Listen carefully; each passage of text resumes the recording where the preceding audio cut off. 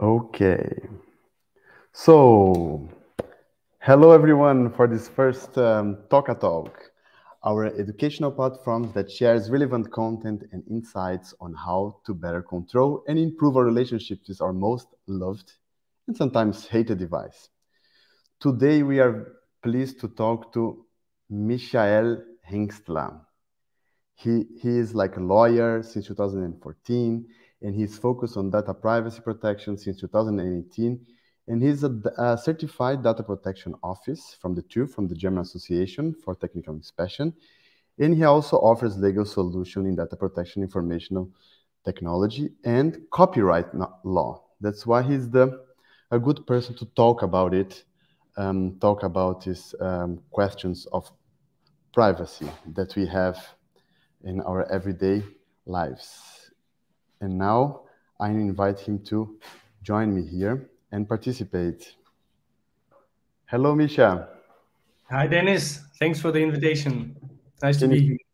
Yeah, nice to see you too. Um, so let's start um, straight to the point.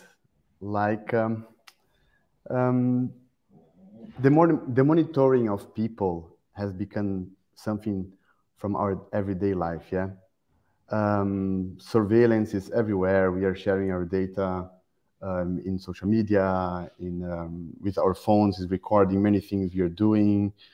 Um, but many people think that surveillance are not directed to them, but the bad intended people, you know. So people who owe something to the authorities or whatever so my question would be why why should ordin ordinary people who have nothing to hide worry about their data privacy? That's a good question. Well, I don't know whether they have to worry or not because uh, um, first we have I think we have to ask ourselves um, like everyone has to ask ourselves what is actually privacy. Uh, there are different definitions of privacy uh, if we're talking about privacy uh, in, let's say, a legal manner, then we definitely have to have uh, uh, worries about how data is processed by certain global players like Facebook and Google and others. Uh, just because they do not comply with laws that are in place in the moment. But there are also people who say, well, I like uh, getting personalized advertising on my phone or uh, in my apps or like on gadgets I use because uh, uh, um, I stay up to date this way and um, so I can always find stuff I really need. Like for example, Amazon recommends books that I probably uh, will be more interested in uh, than if the algorithm is not really uh, adjusted to my interest you know so mm-hmm. it depends on um, how uh, the individual um, um, thinks about his own her own privacy but uh, if we um, take an example uh, how for example facebook uh, processes our data um, or any other big player like Amazon or um, Google, um, they put a lot of data together uh, from our um, online behavior based on our, on our online behavior. So we go to a website which is actually not obviously interlinked with the services of Google or Facebook, something like that. So we are actually not aware that uh, Facebook is getting the information just by visiting a website about like i don't know pets for example mm-hmm. um, then we go to another website uh, where we do some financial transactions for example and facebook still gets the data because this website also has the for example custom audience services of facebook installed so uh, once you hop from one website to another from one application to another um, certain services collect data about you and they put it in a profile uh, and this profile contains uh, so much information about you about us uh, mm-hmm.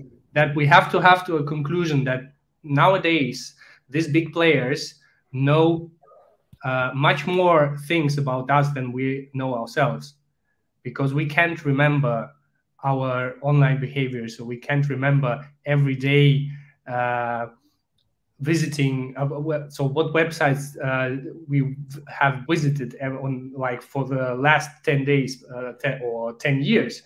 But uh, the computers they can. So and let me come to the conclusion with a with an example you have probably heard about is cambridge analytica mm-hmm. cambridge analytica uh, was a company which let's say helped uh, certain governments or certain politicians or certain companies to, um, let's say, influence the opinion of uh, big of big crowds of, let's say, uh, a lot of people in the country or like the whole population of the country, um, and they did it by getting information from Facebook as well. So you can go to Netflix and watch a very nice documentary about how uh, Cambridge Analytica screwed up and uh, how they, well, in the end they screwed up, but how they more or less uh, helped uh, to, let's say, think Brit, uh, uh, um, to force the Britons think that they have to exit the European Union just mm-hmm. by um, just by uh, showing them certain information on Facebook or on different uh, websites, different platforms, which will uh, first um, somehow comply with their interests, with their mindset, with their profile. And then by showing them this information many, many, many times to build a certain opinion about Brexit.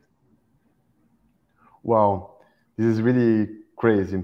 So what you say is that Facebook and others they are able to capture uh, information about you even when you're not uh, on Facebook itself. When you're like looking for another website and like just going around from website to, to website and even be on LinkedIn or other websites, you are still being uh, tracked and this information can be used to target um, advertising, right?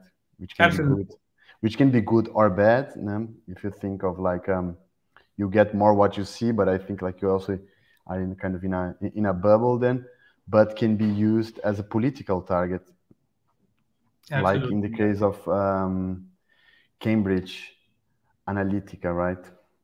Yeah, and um, it, and how how does it happen actually? Why and why is this actually allowed? Um, how do they do this? You know, maybe you can give a little, um, a bit of the technical aspect of it, or how how they do this.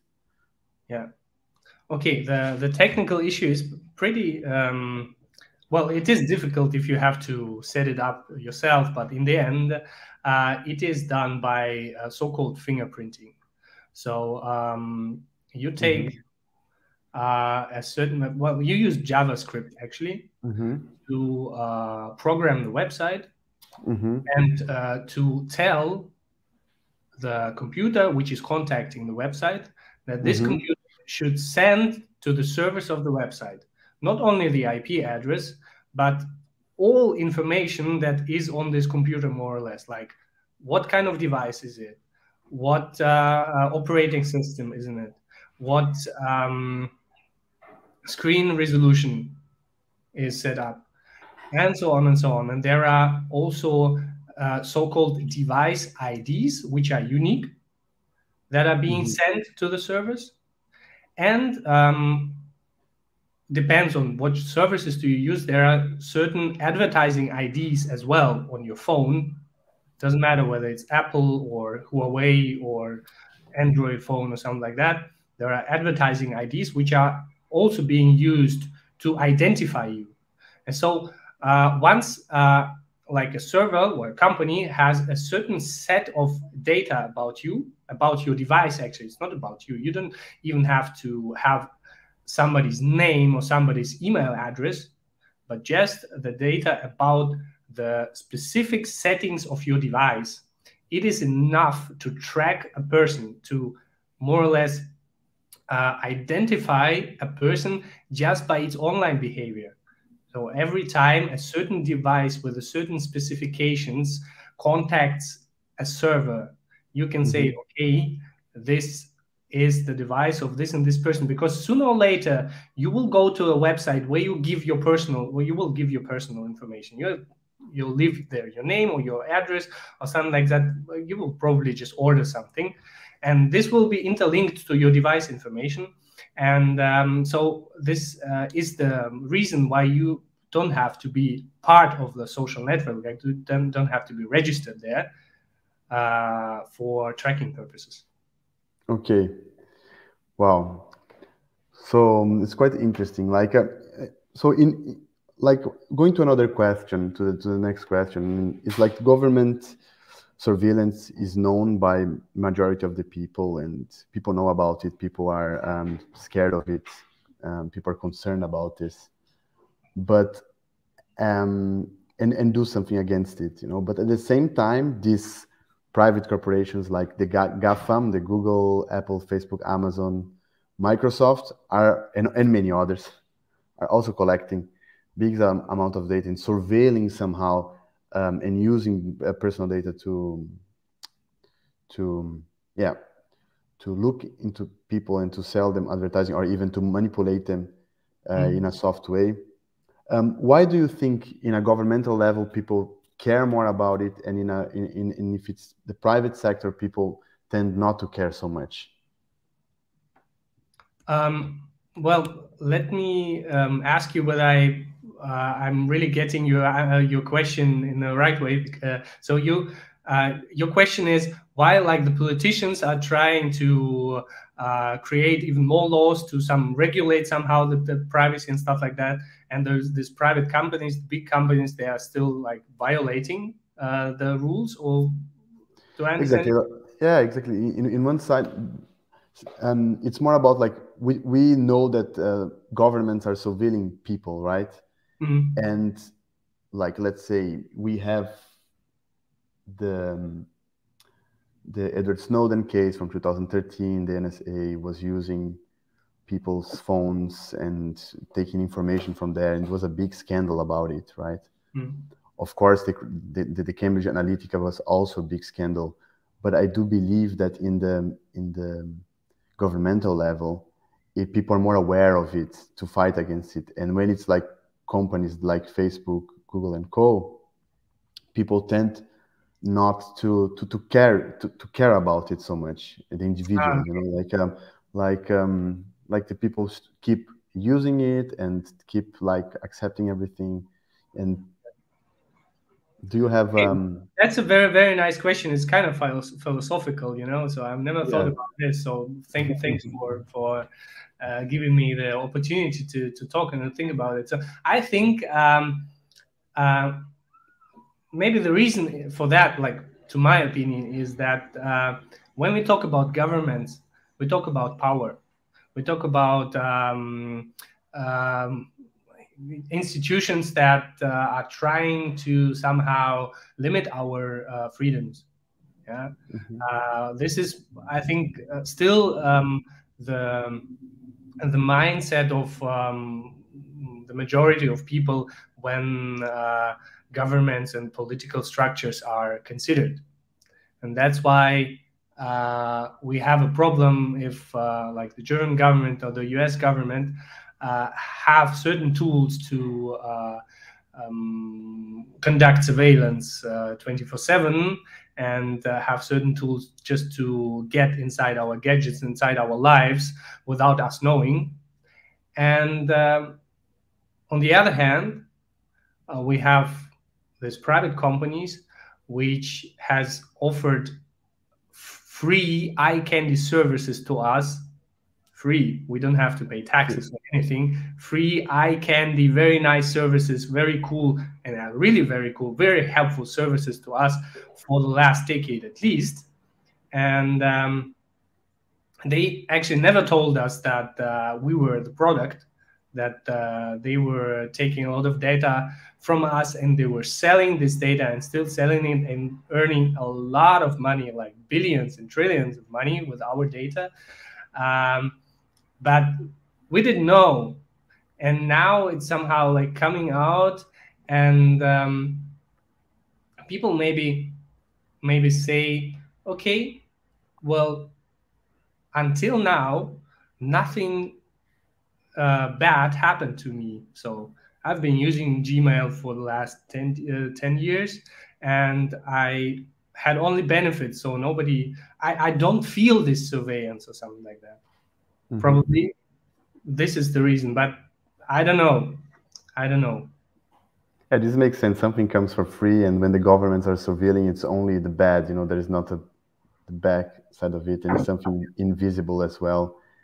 But in the end, it's both. Both is bad. Both mm-hmm. is of course, yeah. it's somehow interlinked as well because the governments, in the end, if they want, they can have um, uh, they can have access to all these profiles, to all this information stored on private servers of the, the gatekeepers like Google and of the GAFAM companies. Yeah. So in the end, it's all one. Yeah. The, the, the, the government will take or buy the information from the or the, the, the private sector and then use it to um, spy, manipulate people or politicians to manipulate votes and so on, right? Yeah, um, and maybe maybe and um, maybe uh, how's it called? Um, let me add something to it. Um, we see, and then maybe this is also the reason. Like, if you're a private company, you on your like you yourself decide what to do with information and data and stuff like that. There is nobody who can actually tell you uh, to use this information, not to use this information against people. Yeah. So and uh, once the government is in place, we have a lot of examples where governments they um, try to regulate certain things on a, a legislational level and try to force companies like GAFAM, but also telecommunications uh, like Telecom or AT&T to store information for a certain period of time. It's uh, in Germany, it's called Vorratsdatenspeicherung to store, store this communication for a certain period of time just uh, for governmental purposes, surveying purposes, because probably they will have to get access to this information in order to conduct some investigation and stuff like that. And there is a big conflict actually on a constitutional level to get rid of these uh, regulations. Maybe this is the case because the government is also trying to force the big players to help them with this surveillance. Okay, but um, I would think then why is it bad to um, that if the government has this information? Um, why is it? Why would this be a bad thing if they would be like combating um, crimes or something? You know, why is is this? Um, a be better if this is this not this doesn't happen? Well, it's a difficult question. It's actually not really bad and not really good, uh, because um, there are kind of um, there are different interests.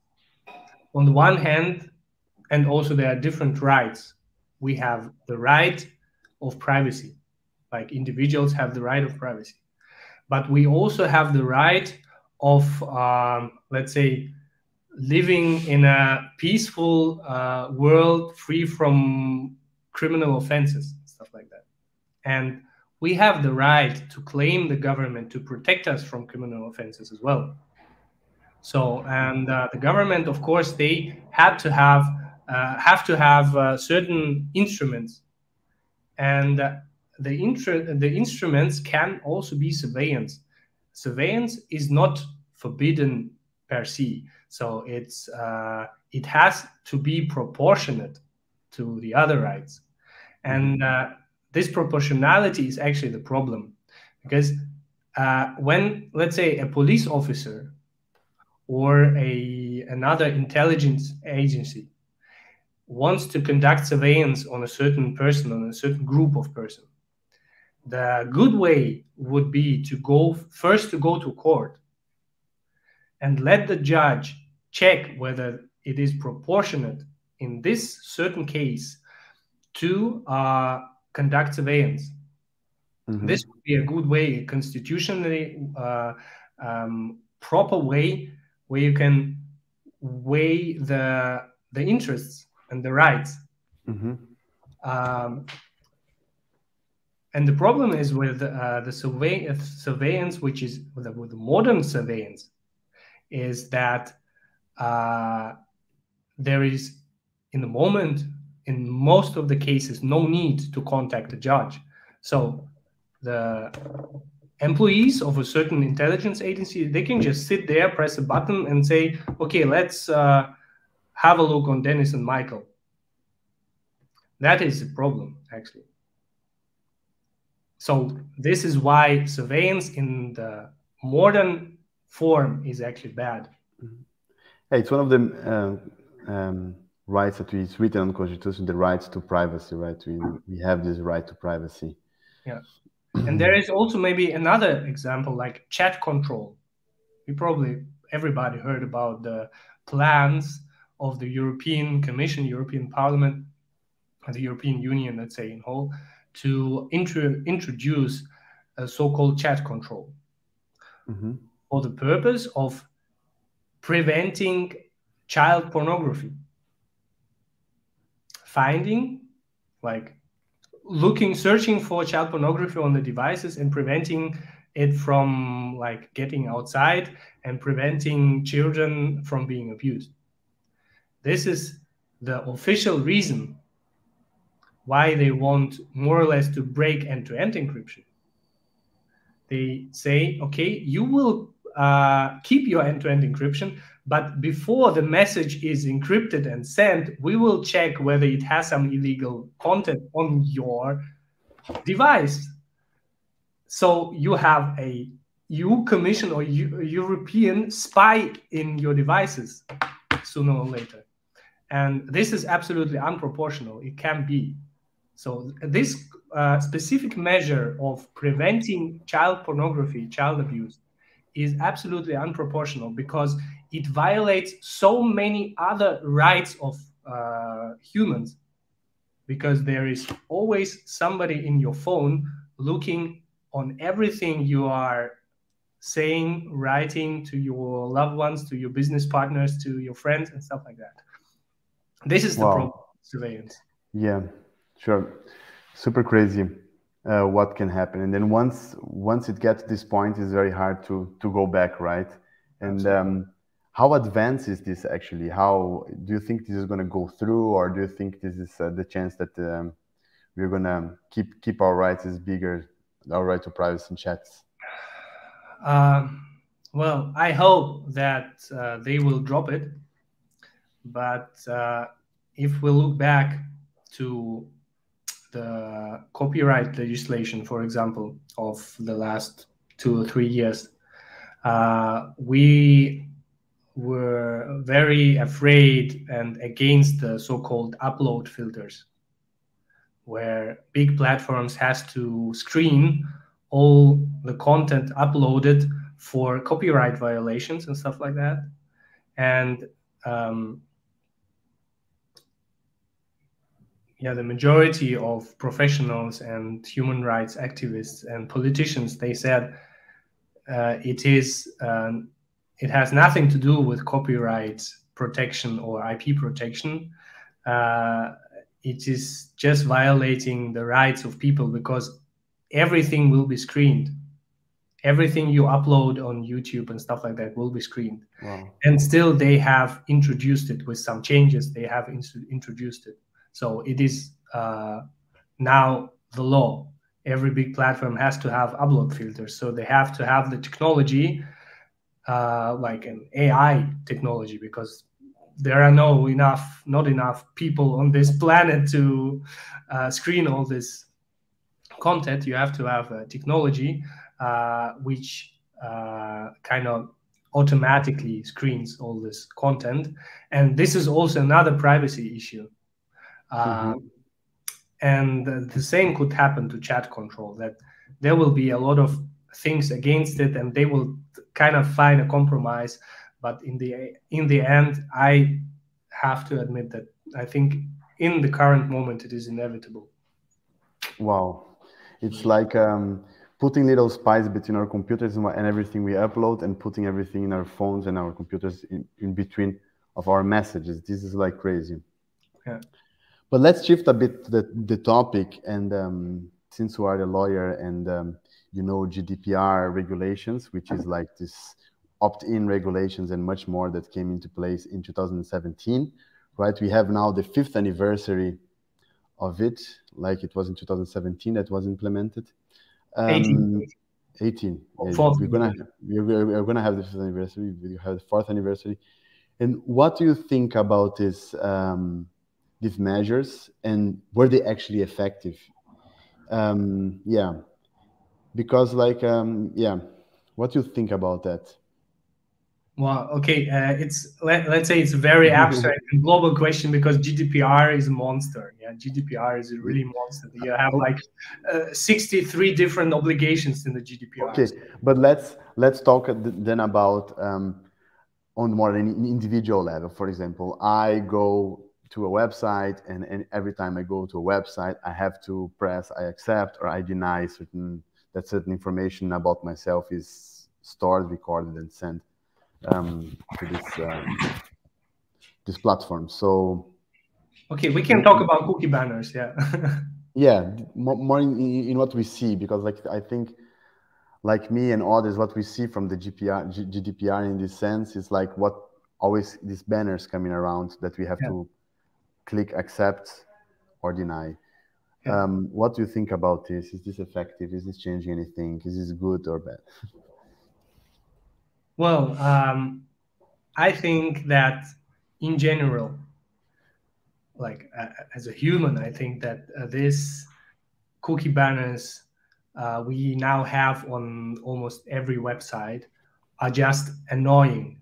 They're really, really annoying, and they kind of uh, partly destroying a very nice user experience on the internet. Because every time I go on the website of the Guardian every time, even if it's on the same day, I have to interact with the cookie banner first. And this is also kind of dark pattern, which is legally not allowed.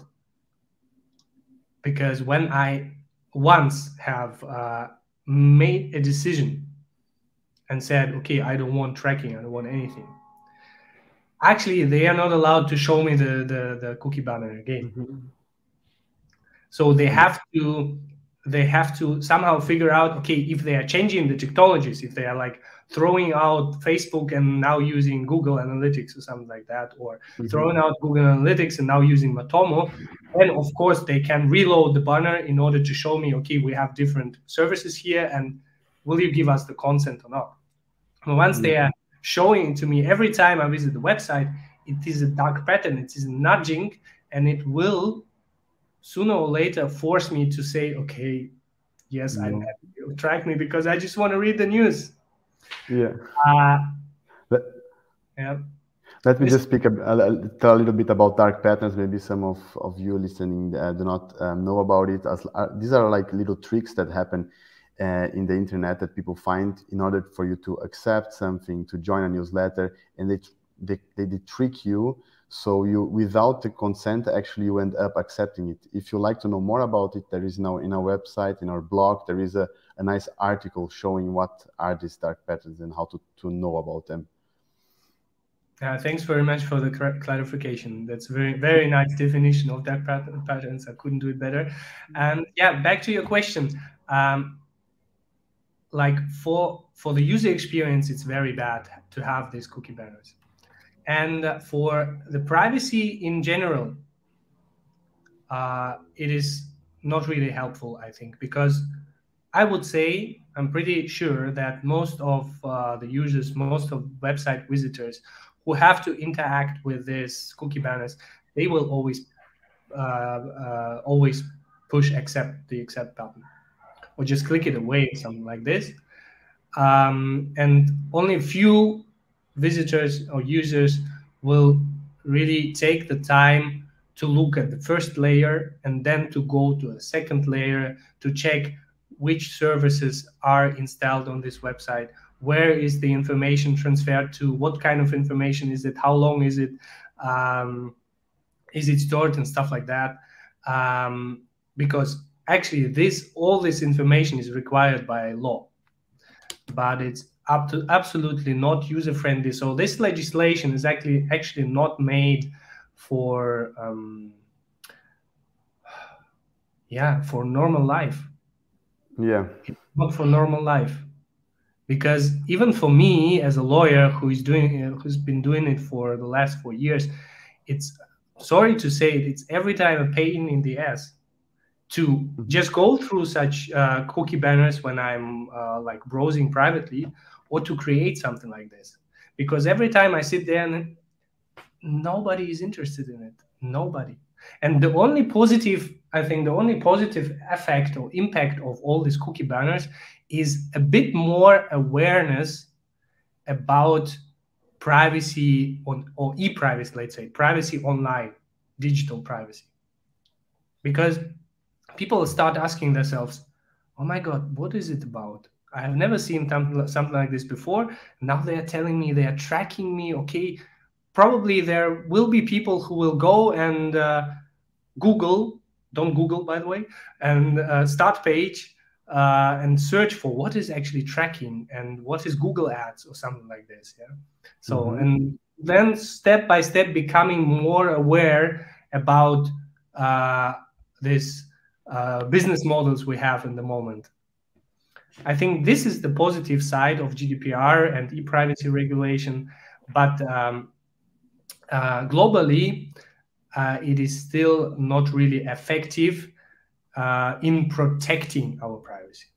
Mm-hmm. It's more about awareness. Very interesting because although we have to put all the time there, many, many of us, yeah, saw it for the first time when we were when we were when this was implemented. Otherwise, we had no idea that we were being tracked like this, right? So it's a good advice to, to, to check one time at least what is happening actually, not just press accept. Um, because many times I think it's similar, right? What these websites are doing. So if you read one time, it's more or less kind of you know what is happening there and how your information is being tracked. But how do, do you think this is going to be?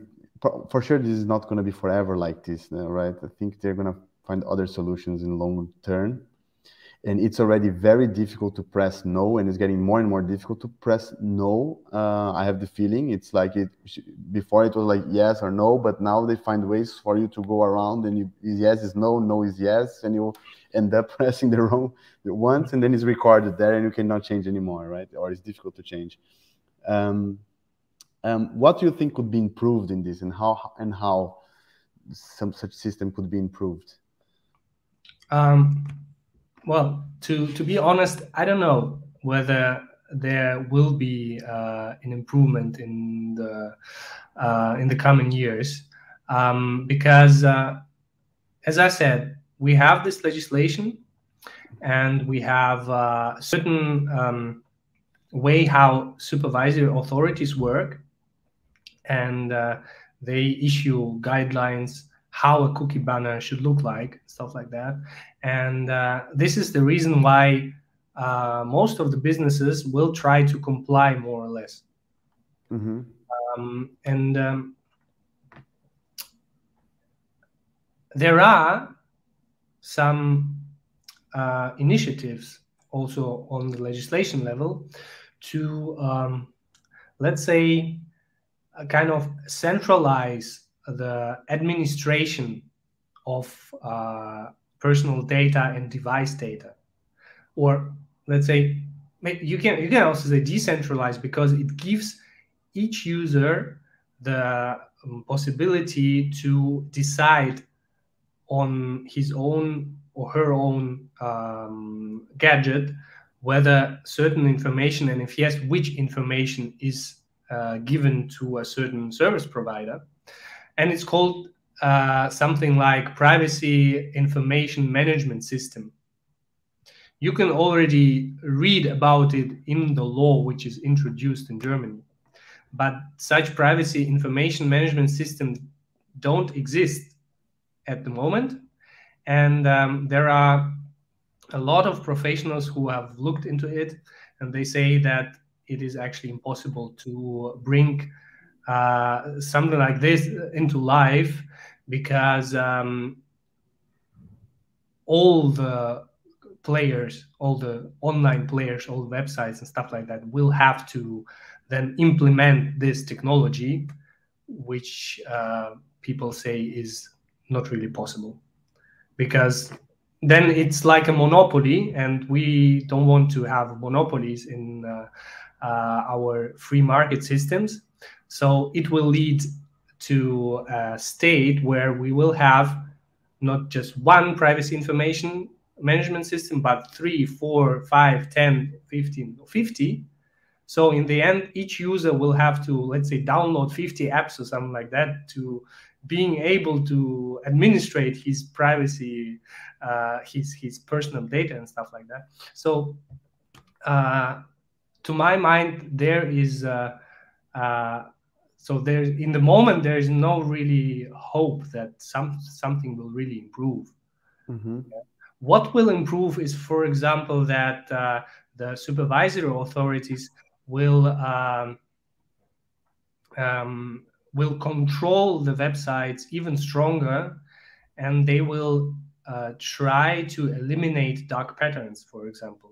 They will uh, force the, the uh, websites to be more compliant, more transparent, to give uh, the users equal choice of being tracked or not, and uh, to give uh, the user a possibility to get rid of this cookie banner in a very fast way and to uh, and let's say and to come to the initial purpose of visiting a website which is just using the website. Um, this will definitely happen, or it is already happening. Um, there are a lot of uh, companies who are dealing with, uh, let's say, letters from from lawyers or from uh, governmental authorities, which are saying you your website is not GDPR compliant, and uh, now you have to do something. Mm-hmm. Very interesting. I'm like I'm also keen to see what changes to better in this uh, field um, but let's jump to the next next topic. Um, like in individual level, how can I protect my data in like simple steps? Like what what can I do if I, of course, I have social media. I have not of course, but I, I have social media and I use the internet as an ordinary person.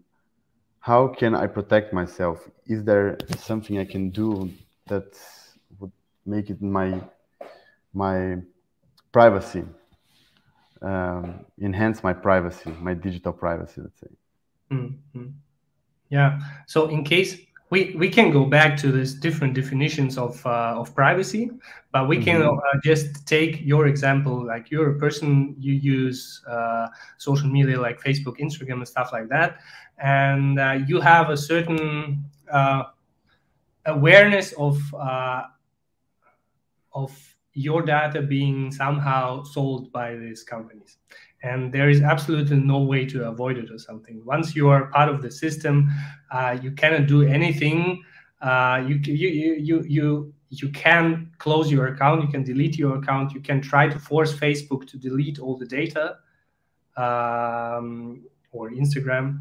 Um, but uh, as long as you're using it there is actually only um, um, possibility, like it's a recommendation from me to check whether your um, whether your privacy settings on Facebook or on Google on Instagram are in place, whether they are uh, they are set in the right way, because uh, most of these uh, free services um, they have uh, by default uh, not really privacy friendly settings because they need uh, a lot of data from you uh, and then they don't want you to start with zero data. They want, want you to start with 100% data and then give you the possibilities to limit the access. So try to limit the access as as far as it is possible for you.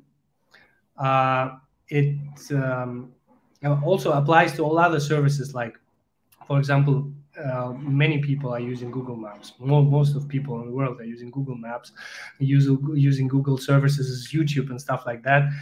Go to privacy settings, go to web activity settings, uh, location settings, switch it off.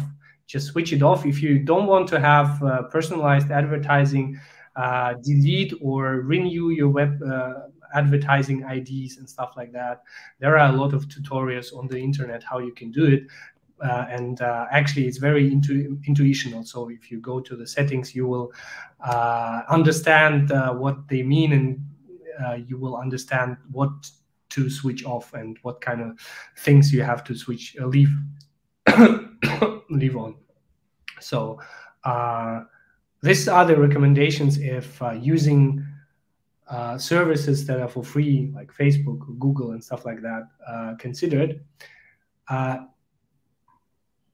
if you have a possibility to avoid using something, then uh, try to ditch Google services as far as possible. Try to switch from Gmail to Proton Mail or to, um, let's say, Mailbox, Mailbox.org or Posteo. Uh, if you use a browser, try to ditch Google Chrome because Google Chrome is a spyware. Instead, you can use Brave browser, which is also a Chromium based browser. So it looks the same, it has the same functionalities.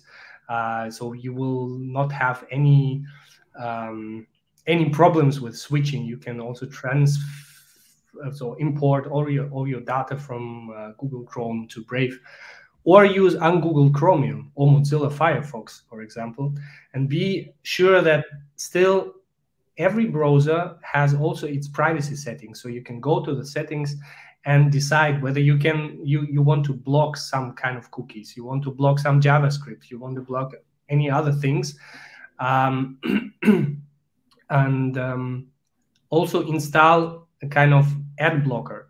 For example, uBlock Origin. Uh, these ad blockers they um, have a very very vast always regularly updated database on tracking domains because every javascript is coming to your um, gadget to your device over a domain over a url a certain internet address and uh, these blockers they block these addresses so the javascript cannot be leaked and cannot tell your computer to send data to certain servers. You can also use vpn to hide your ip address virtual private networks. It means that uh, uh, your whole internet traffic will, will be uh, somehow linked um, not, not linked but will be uh, not directly guided from your computer to the server of the uh, internet, well, not the internet, but the service provider like Google, but it will first be sent to a server from uh, the VPN service provider, and then the VPN service provider will communicate with the service you have requested. So uh, the service won't know that which device is contacting that uh, let's say that your device is contacting the server so fingerprinting is not possible in that moment. And you can um, hide your ip address but uh, be aware uh, of the fact that you are not sending your data to the service provider you're contacting but you are sending your data to the vpn provider. So you have really to be sure that you can trust this vpn provider so wow. it's very, it's really difficult to uh, be 100% invisible. It's actually impossible. Yeah. So you say like, um, if you use a, uh, if you just take a free VPN provider that you you you think is actually um, hiding your information, this this service provider is getting your information, and if it's free, it might be getting your information to sell this information as well, right? Of course, but because a VPN provider is nothing uh, more than a couple of servers somewhere which are getting your request and forwarding it to the service you have actually requested. So mm-hmm. it's not a direct way, but over the VPN provider. So they will get all your data, and then you have to be sure that they are not logging your data and not selling your data or something like this. We, we, you can be pretty sure that uh, this, for example, doesn't happen with Proton VPN because they, okay, they are saying that they are not logging anything and their service is open source. So people who are really fit in programming, they can go and check check the source code, and they will see, okay, there is no code which is somehow able to trigger logging of your information, like download and and, and storing of personal information or device information, something like that. Yeah. Okay. So open source is one um, good aspect of this software, right? Um, Absolutely. So do you think like always always open source software would be safer than not open source software or there is also like open source not equals safer no no it's um, it's not like that that every open source software is safer than not open source software because as i said there has to be a person or many people who will sit down and check the source every time it is renewed because Mm-hmm. Uh, in agile programming, there are releases every week or maybe twice a week, new releases. So I mean, you have to check it every time, uh, and you never know. Probably like today there is no logging, and uh, a week later they will introduce logging. And as long as nobody is checking the new source code, you won't find it, find out. Wow. Okay, these were these were nice um, tips and insights about actually what can happen um, to our privacy, even if we think we are going for my privacy. Um, but okay, where can I know? How where can I research about it and know how can I trust a service or not? Like, is there things that you see like this is more trustful, this is less trustful, a part of being free or not free, or yeah you can research on the internet of course mm-hmm. um, i don't have like a well i can i can um, recommend you to if you are on twitter for example which is not really privacy friendly if you want to have something very privacy friendly you have to go to the defi network like uh, decentralized uh, and uh, it can be for example mastodon it's a social network which is decentralized. You can follow some privacy and tech professionals who are giving a lot of uh, different insights into uh, different tools and services. Uh, for example, uh, it's a very good guy, a cybersecurity guy whom I know from my professional life. His name is Mike Kuketz. He has a blog outside, and there you can find a lot of like loads of stuff about browsers, about VPN, about um, applications we use very often on our phones, for example, which has been tested by him, sometimes together with other lawyers, and uh, where they have found out whether uh, these applications are nice or having some privacy issues, or whether they should be used to protect our privacy, or whether they are useless in protecting your privacy and stuff like that. He's also a bit controversial about using malware scanners, for example, or VPNs. Mm-hmm. So uh, pro- probably this is a very good source uh, to get some useful information on that. Okay, yeah. great. Um, we'll share uh, later in the comments. We share like um, in the description. We, we share his um, link so people can also um, follow him for these issues. Yeah. Right. Um, so I think we are coming to an end now. Like we've been talking for 49 minutes already with uh, Michel Hengstler, which is a lawyer that knows a lot about privacy, works with privacy and solution for companies and so on, has his own um, office in Dresden, right? Or, or like um, and also remote. Now you come to Berlin sometimes, right? Well, um, I don't. I actually don't have an office, so like my the, the Earth is my office. the Earth is your office, yeah. You, yeah, yeah, most of so work I do is remote. Uh, there's a lot of remote work. Is also in, has clients all over, right? Uh, also in Berlin. I've seen you in Berlin sometimes, and um, yeah, we come to to a final um, question now. Like we call this, you know, the digital privacy denial, denialists. Let's call them like this. who are people yeah. who say, "Oh, there's nothing to do. There is a path with no return." In a way, like um, it's like um, they don't they they know it, but they think there's nothing to do against it, right? Mm. What would you tell these people? What what should you speak to them? Uh, I still don't know. I have to be really honest on this question. I still don't know because it's very difficult to um, uh, to have a let's say a nice conversation with uh, people who from like the first second tell I don't care. Mm-hmm. Um, um, because like our conversation now, you're interested in this topic, so I can speak out freely. Mm-hmm. Uh, and uh, you're asking me about things, how I see them, and about my uh, experience and stuff like that.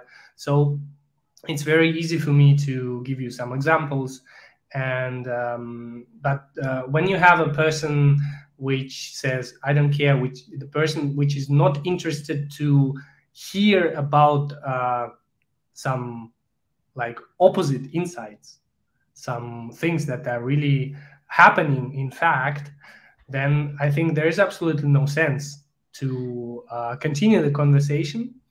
Uh, and I have to add as well that um, if we um, try to predict what is going to happen like in the next 10 or 15 or 20 years and if we read some books from historical uh, like for historians like uh, Noah Yuval Harari who wrote Homo Deus short uh, future of uh, of uh, the human beings and stuff like that. So then maybe people who don't care, they're on the right side because they say, okay, in the end, we won't have any privacy, privacy, and we won't need it anymore because people will uh, evolve and they will kind of benefit from this open information. Yeah, but um, there are also threats. People people can in, in, private information from, from us can get in bad hands and so on, and this can used can be used against us. But let's yeah, say the person is not really against it. And what would you say, like um, to someone? What would you say? Why why why this matters? Why privacy matters? Okay, because you don't want to sit in a toilet with a camera toilet on with a camera on but mm-hmm. this is like maybe tougher you know yeah no it's a good it's a good uh, finalization you don't want to sit in a toilet with the camera on which is somehow in other ways happening and we are not in many times not aware of it right so that's why we should care of our privacy so this moment i want to really thank you misha for offering your time today to to talk to us about this very relevant topic today. Yeah, and um, hope you continue doing this amazing job you're doing with your agency and um, supporting companies, individuals to protect more privacy and be compliant and so on. And um, yeah, big thanks. And to feel analyze, again, we are TOCA. We are a project to raise awareness about the side effects of smartphones and computer usage and we share insights about digital detox, privacy, radiation protection, and we also manufacture like gadgets such as Faraday bags, pouches to help individuals to protect themselves in an everyday life. So please um, check our website www.toca.site. and uh, if you like to talk today, please leave your comments down here in the platform you're watching and share with people who might also be interested about it. Thank you, Mishi, and have a nice um, afternoon. Thank you, Dennis. Bye bye. Bye bye.